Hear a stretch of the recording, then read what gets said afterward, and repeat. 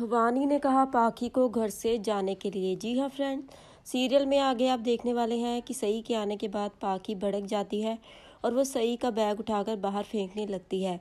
लेकिन विराट उसे ऐसा करने से मना कर देता है। वो कहता है कि मेरी बेटी सवी यहीं पर रहेगी और उसकी आई भी। तो यहाँ पर पाखी कहती है कि ठीक है, फिर मुझे इस घर में से जाने से कोई नहीं रोक सकता। मैं अपने बेटे को यहाँ से लेकर जा रही हूँ। तो विराट उसे बहुत समझाने की कोशिश करता है कि सही इस घर में नहीं, बल्कि आउट हाउस में रहने वाली है और वहीं रहकर वीनू की मानसिक हालत को ठीक करने वाली है। लेकिन पाखी कहती है कि मुझे पता है कि वो यहाँ पर क्यों आई है।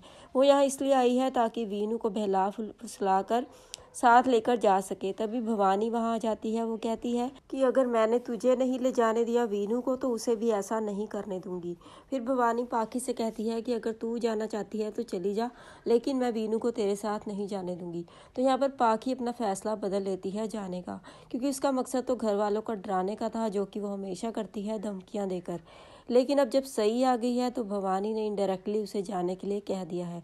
फ़िलहाल के लिए इस वीडियो में इतना ही। वीडियो को लाइक शेयर और चैनल को सब्सक्राइब करना मत भूलिएगा। Thank you for watching